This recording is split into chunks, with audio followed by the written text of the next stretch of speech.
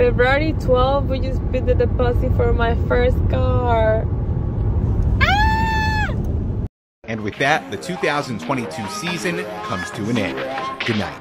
Crush a bit, little bit, roll it up, take a hit, feeling lit, feeling like 2 a.m. summer night. I don't